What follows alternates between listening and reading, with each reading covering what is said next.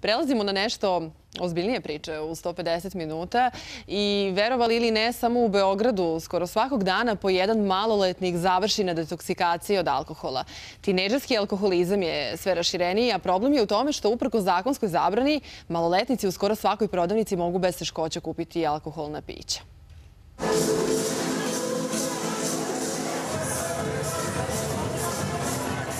Ovo je proslava mature u jednoj od beogradskih osnovnih škola.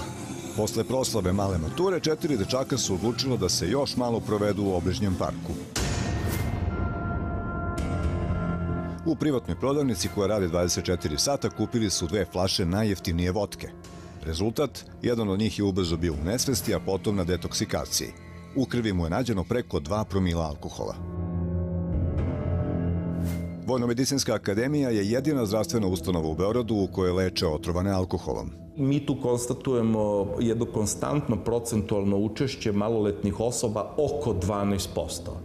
Znači, apsolutni brojevi rastu, to je tačno, a udeo maloletnika se održava, te otprilike sada dostiže nekih 320-20-30 slučajeva lečenja akutne alkoholisanosti godišnje. Doktor Režić kaže da je najbolja terapija protiv alkoholizma u jednoj reči. Nema. Međutim, problem je u tome što alkohola ima i što je lako dostupan. Čak i sami tinejdžeri kažu da u gotovo svakoj prodavnici mogu bez ikakvog problema da kupe alkoholna pića. Našeg mladog prijatelja koji ima 17 godina i vidi se da ima 17 godina, zamolili smo da nam u prodavnici kupi flašu vodke.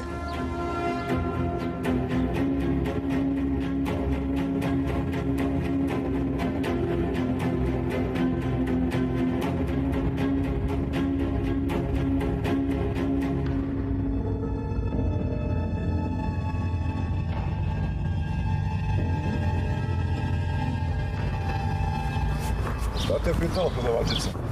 Pitala me do koje cene želim vodku i toliko. Jel ti traži ličnu kartu? Te pitala Nije. da li si punoletan? Za godine me ništa nije pitala.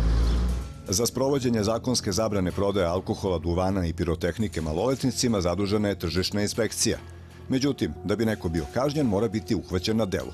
Nije dovoljno da prijavimo ovo što ste upravo videli. Zato da bi inspektor konstatovao to stanje predizao mere protiv nekoga, on mora a, konkretno prisustovati tom činu i zapisnički to konstatovati i uhvatiti to lice, a, to je tog trgovca koji se time bavio. Tako da, na primjer, ove godine mi smo do sad imali samo 10 prijava na teritoriji cele Srbije koje se odnosile na prodaju alkohola maloletnim licima i u jednom slučaju inspekcija je uspela da, da konstatuje i da, i da trgovca uhvati u prekršaju da prodaje, li, prodaje alkohol maloletnom licu gde je podnet zahtev nadležnom sudu.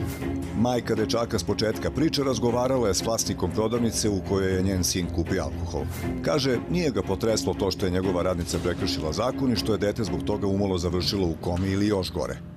Da li je potrebno da neki maloletnik izgubi život da bi mi počeli da poštujemo zakon? Pita se ova majka, a i mi.